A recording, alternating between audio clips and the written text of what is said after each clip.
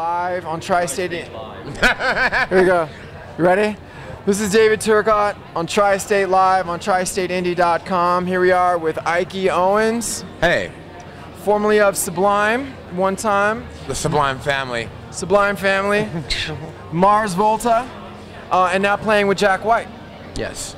So Ike, grew up with you in Long Beach, California. You've come a long, long way. You have a musical family. You have two brothers, super talented. Obviously, you've done very well for yourself. Talk about growing up in that music scene uh, in the mid '90s, and maybe how that's influenced you, and sort of how you've kind of come to be with Jack White and, and the Ascension, starting with Sublime. How did that How did that happen?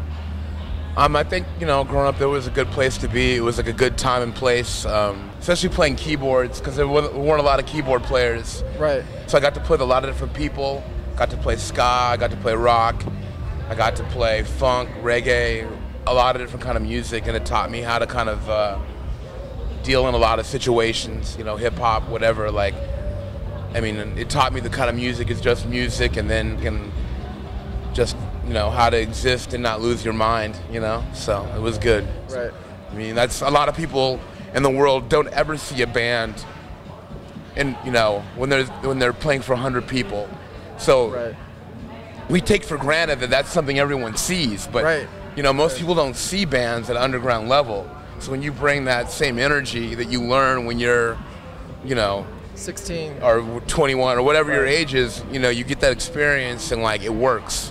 And to me, that's that's what I essentially like live on. Is you know that's how I do what I do is like learning what I learned from um, those you know small shows or you know small shows or and then to my mentors, you know, like you know everyone in Sublime, the Sublime family, you know, Mars Volta family. I've been very lucky to be associated with some very amazing people. Now, first time you're in a rehearsal with Jack White and he walks in, what was that like? I don't remember the rehearsal. We had a great meeting first because you know there's two. There's a guy band and a girl band, and I, I don't want to go into specifics of what he said at the meeting. I, you know I don't want to quote him, but like basically, I felt just like I was at home. Like you know, because I didn't know him. Uh, we hadn't met. I really hadn't met any of the guys or any of the girls except for maybe Carla, the Okay. the girl, the drummer from the woman, the female band, the Peacocks, but.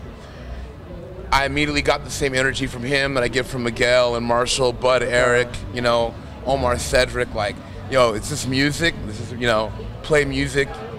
That's why we're here. It wasn't like anything else. Right. No rock star shit. No fucking, Right.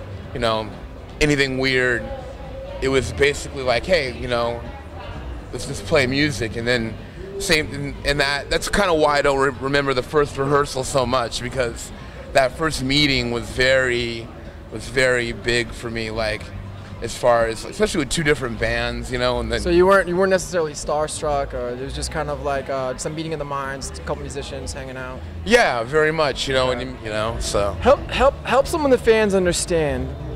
Jack White and and you're touring with now uh huh. has kind of two bands. We have a we have a female band and then we have a male band. How, how does that work? How did that come to evolve? And sometimes you guys both play on stage together, right? Uh, no. Okay. We very rarely. I don't think we've ever played on the same stage. Okay. Essentially, he he planned it this way. Like, there's two bands, um, the Buzzards, the, the male band, the boy band, as uh, some people like to call it, and then the female band, which is the Peacocks. Okay. And then he planned it that way. Um, chose every member, and then uh, you know you get a, a message sometime during the day that it's your show today. You know, and uh, so I don't know if I'm playing or not today. Oh, really? Yeah, Okay. So it's the last minute kind of yeah. on a whim. Very last minute, and uh, usually there's some skywriting involved. Skywriting. Skywriting, yeah. Skywriting. Skywriting. I'm just yeah. Uh, no, you, you get like an email. I'm or like I'm getting a, I'm, get, I'm getting a. I'm getting a flashback. Nah, you get like an email or a text message and being like, okay, today it's a buzzard, today it's a peacock. Hold on. Let's see. Yeah, check your phone, Right, ask right, your right, wife. right, right. Um, but yeah, you get a text message or like a, you know, an email and being like, you know, hey, it's your, you know, you're on today. Okay. And that varies as to what time of the day or whatever. And right. It's really crazy because I thought for sure this was gonna be the weirdest thing, and like, uh, it's worked out great. I mean, everyone's all family. you know, the girl. We all get along. Like, you know, like I, I really miss, you know, my. I call my Southern family because it's like everyone's from the South, pretty much, Okay. or is based there. So it's like, you know, it's you know, I, I miss everyone. I go home and it's really it's really cool to be a part of and like he picked really great people like the other keyboard player brooke Waggoner. She's my polar opposite you know what i mean? Like Okay. like you know me i'm so janky i'm all over the place and she's like this amazing beautiful player you know like piano player composer and like it's the same way with all the instruments like for the it's like you know every every person in the in the group brings something to the table and then in the girl the woman band it's like they bring another thing to the table and so I, i've learned a lot by watching like brooke play by watching carla play you know everybody like you know and just seeing kind of like because we do the same songs for the most part Okay. so seeing how the thing how it works and like you know their renditions of our same songs Huh. is pretty interesting Like, like, it's a different interpretation. yeah just slightly So different, something different. you know different energy i mean you played Okay. with women it's like Right. it's amazing it's a great experience like you know like just getting to see like how another group of, of people interprets you know men or women whatever interprets this, the song that you're playing. And then there's no set list so it's you know it's very like you know.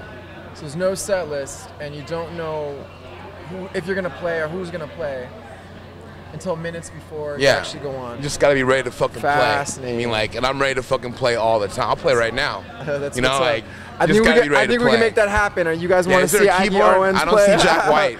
okay. so right, I, no not Jack ready White. to play, but All right, Ike Owens with Jack White, formerly of the Mars Volta, uh, legend coming up. It's great to see you. thanks, man. Yeah, Good to absolutely, see you too. man. absolutely. Cheers. All right, This cheers. is David Turcott signing off with TriStateIndieLive.com.